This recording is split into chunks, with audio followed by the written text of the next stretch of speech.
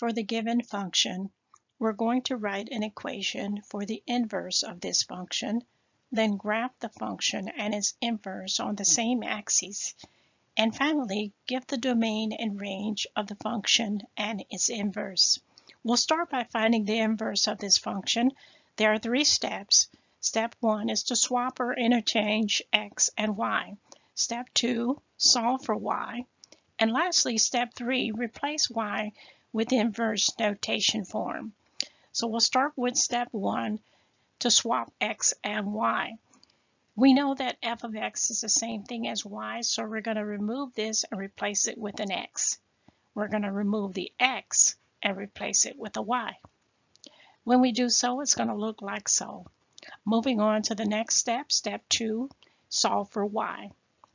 To solve for y, we need to add 5 to each side, then divide by 4. Whatever you do to one side, you must do to the other. And we have the value for y. And now that we've solved for y, moving on to step 3, remove y and replace it with the inverse notation form. And there you have the inverse of the given function.